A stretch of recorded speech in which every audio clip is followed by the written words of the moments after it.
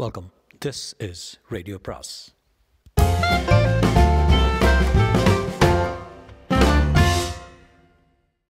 Hello, everybody. This one is a, an English piece by James Thurber. The, uh, the title is University Days. University Days by James Thurber. This, this was done uh, during the 30s, so the, the timing is pretty important. It's 1933 is when this got released. So, University Days by James Thurber. I passed all the other courses that I took at my university, but I could never pass botany. This was because all botany students had to spend several hours a week in a laboratory looking through a microscope at plant cells, and I could never see through a microscope. I never once saw a cell through a microscope.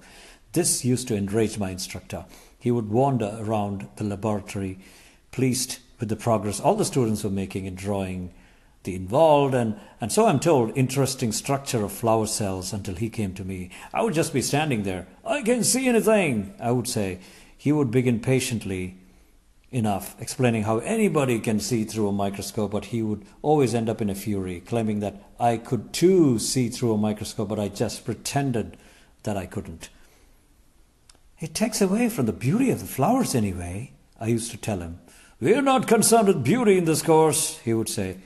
We are concerned solely with what I might call the mechanics of flowers. Well, I'd say, I can't see anything. Try it just once again, he'd say, and I would put my eye into the microscope and see nothing at all, except now and again a nebulous, milky substance, a phenomenon of maladjustment. You're supposed to see a vivid, restless clockwork of sharply defined plant cells. I see what looks like a lot of milk, I would tell him. This, he claimed, was a result of my not having adjusted the microscope properly, so he would readjust it, uh, readjust it for me, or rather for himself, and I would look again and see milk.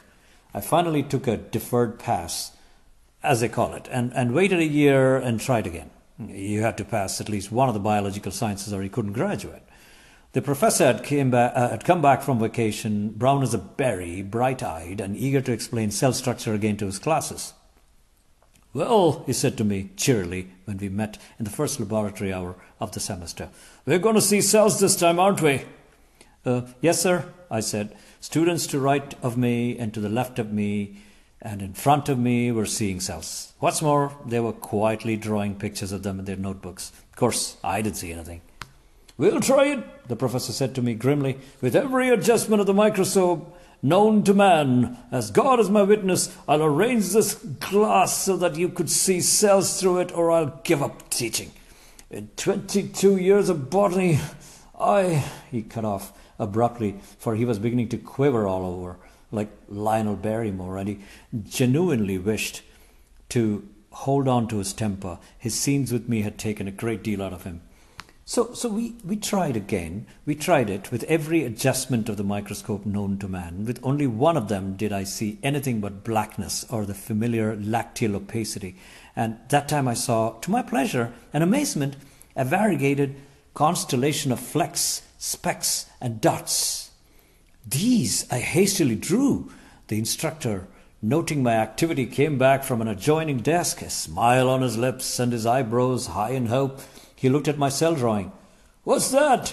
he demanded with a hint of squeal in his voice. Oh, that's what I saw, I said. You didn't!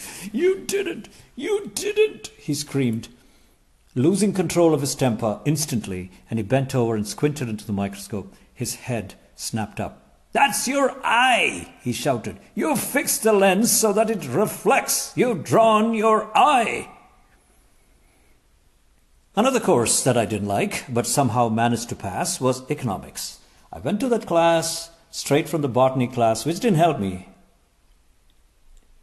any in understanding either subject. I used to get them mixed up, but not as mixed up as another student in my economics class who came from there direct from a physics laboratory. He was a tackle on the football team named Bolenciecwcz. At that time, Ohio State University had one of the best football teams in the country, and the Bolenciecwcz was one of its outstanding stars. In order to be eligible to play, it was necessary for him to keep, it, keep up in his studies, a very difficult matter. For while he was not dumber than an ox, he was not any smarter. most of his professors were lenient and helped him along. None gave him uh, more hints in answering questions or asked him simpler ones than the economics professor, a thin, timid man named Bassum. One day, when we were on the subject of transportation and distribution, it came Bolenciecwcz's turn to answer a question. Name one means of transportation, the professor asked to him, uh, said to him. No light came to this big tackle's eyes. Just um, any means of transportation, said the professor. Bolenciecwcz still staring at him. That is, pursued the professor, any medium, agency, or method of going from one place to another. Bolenciecwcz had the look of a man who's being led into a trap. You may choose among steam, horse drawn, or electrically propelled vehicles, said the instructor. I might suggest. Well, I might suggest the one which we commonly take in making long journeys across land. There was a profound silence in which everybody stirred uneasily, including Bolenciecwcz and Mr. Bassum. Mr. Bassum abruptly broke this silence in an amazing manner. Choo choo, choo choo, he said in a low voice and turned instantly scarlet.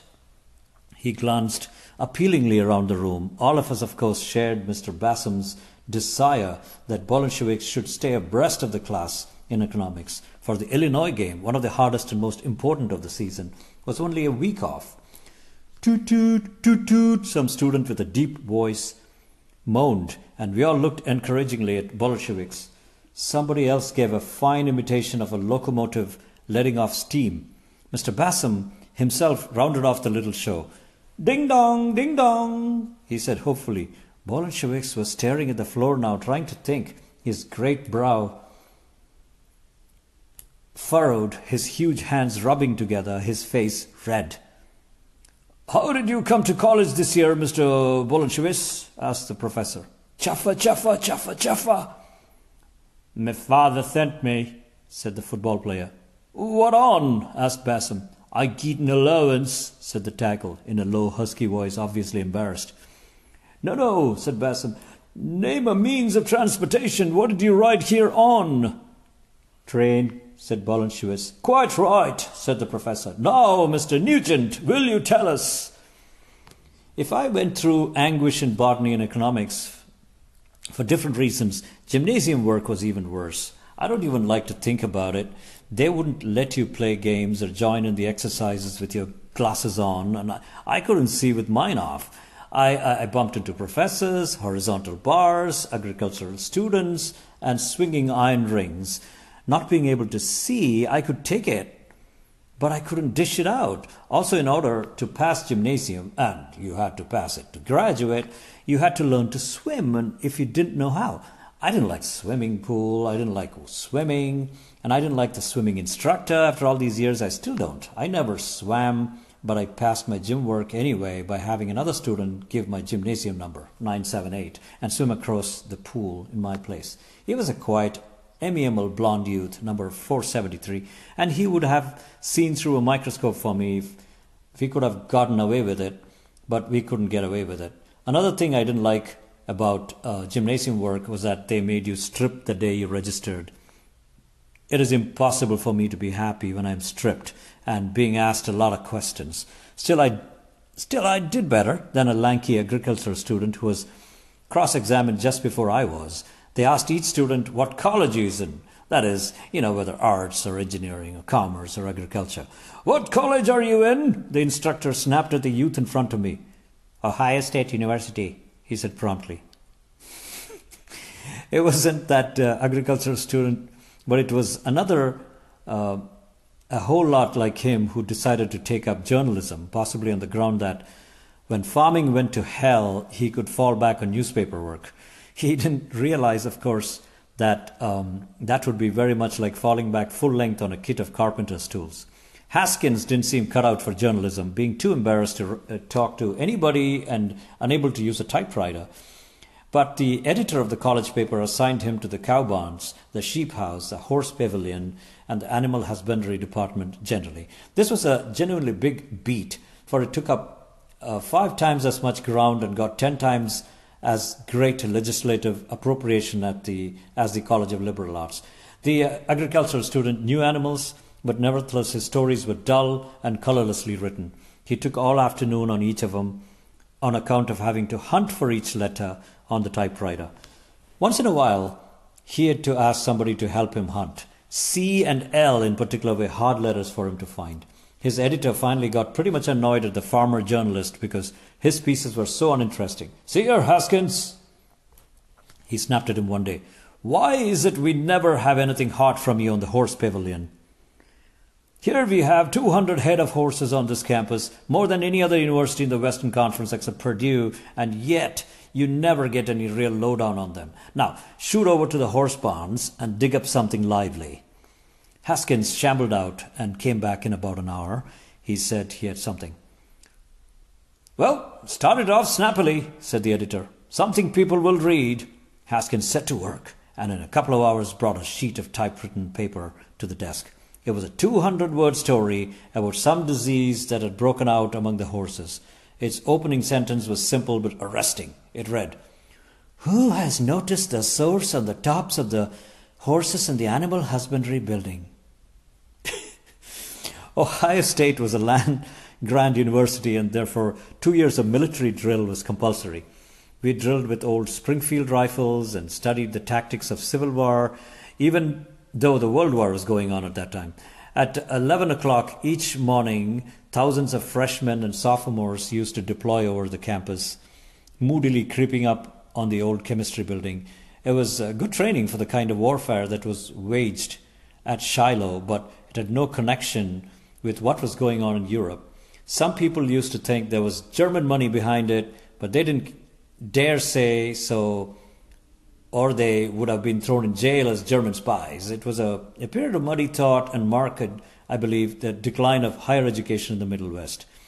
As a soldier, I was never any good at all.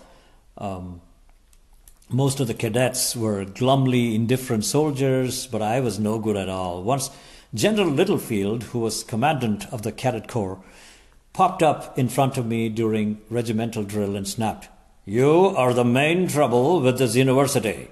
I think he meant that my type was the main trouble with the university, but he may have meant me individually. I was mediocre at drill. Certainly, that is until my senior year. By the time I had drilled longer than anybody else in the Western Conference, having failed at military at the end of each preceding year so that I had to do it all over again. I was the only senior still in uniform, the uniform which, when new, had made me look like an interurban railway conductor now that it had become faded and too tight, made me look like Bert Williams in his bellboy act. This had a definitely bad effect on my morale. Even so, I had become, by sheer practice, little short of wonderful at squad maneuvers. One day, General Littlefield picked our company out for the whole regiment and tried to get it mixed up by putting it through one movement after another as fast as we could execute them. Squads right, squads left, squad on right onto line, squads right about, squads left front into line, etc. In about three minutes, 109 men were marching in, marching in one direction, and I was marching away from them at an angle of 40 degrees, all alone. Company, halt! shouted General Littlefield. That man is the only man who has it right. I was made a corporal for my achievement. The next day, General Littlefield summoned me to his office. He was swatting flies when I went in. I was silent. He was silent too for a long time.